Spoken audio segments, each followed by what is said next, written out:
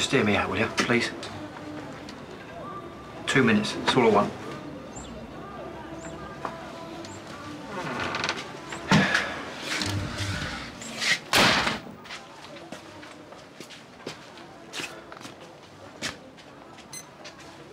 You've got one minute.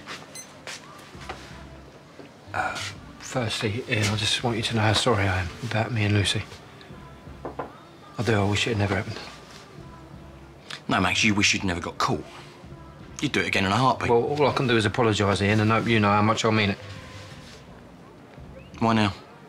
Uh, because Peter and Lauren started seeing each other again, and they didn't want to tell you because of me. We never did have good taste in women. Well, I think we owe it to them, Ian, to try and find a way forward. That's all. Won't last. Ian, you've made mistakes, haven't you? You've, you've done things you regret. You know, what about Denise? You've spoken to her since you've been back. Don't try and drag me down to your level. No, well, I'm just saying, none of us are perfect, are we, Ian? I won't stop them from seeing each other. Tell them that. Well, why don't you tell them yourself we're going out to Vic later, so... You can join us if you want.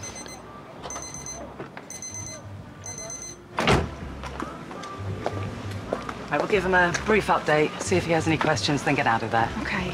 Oh, and should I mention the... You are not going to say anything. Now, I know you feel you've got a good relationship with the Beales, but just keep your mouth shut, will you?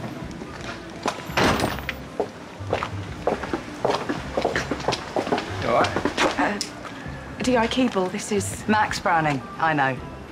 We go way back. Quite put it like that. You were sleeping with the deceased, weren't you? Um, and D.I. Keeble is working on the Lucy Beale case with me. Well, they needed someone who knows what they're doing to keep an eye on things. Come on.